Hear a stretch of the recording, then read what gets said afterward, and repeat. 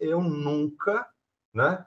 Eu nunca é, passei do limite do recato e da, é, e da ética que eu aprendi ao longo do tempo em sala de aula, né? Sabendo diferenciar né, o que, que é assédio, o que, que é mal entendido, né?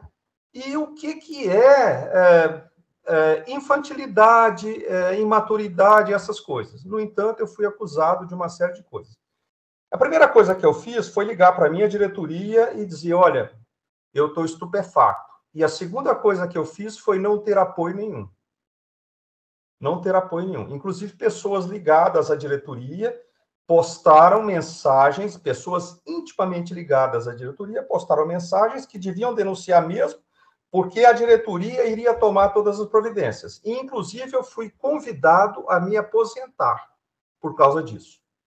Eu fui, eu fiz um boletim de ocorrência, eu contactei os outros quatro colegas, eu fiz um boletim de ocorrência é, na delegacia. Esse boletim de ocorrência, essa, essa acusação nunca foi investigada pela polícia, ficou por isso mesmo, e meu nome foi para a lama. Tá? O meu nome foi para a lama. Então, eu acho é, que uh, a, a, a história, o comportamento das pessoas mudou muito. Na minha época, não havia essa esse frisson por sexo.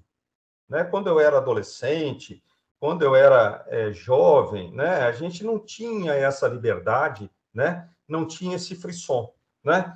Então, hoje é o seguinte, né? o sexo está liberado, pessoas perderam o limite, o respeito, e não sabem mais identificar e se posicionarem perante as situações.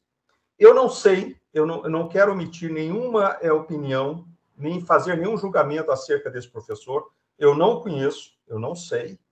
Mas a única coisa que eu sei é que ele pode, ele é inocente até se prova o contrário. Mas de qualquer jeito a carreira dele está muito prejudicada, né? Então eu acho que fica um alerta para todos os professores. Mantenham distância, mantenham distância porque as pessoas não têm mais limite. Elas não conseguem separar as coisas e tratar as situações de forma madura. É isso que eu gostaria de dizer para vocês para começar esse debate.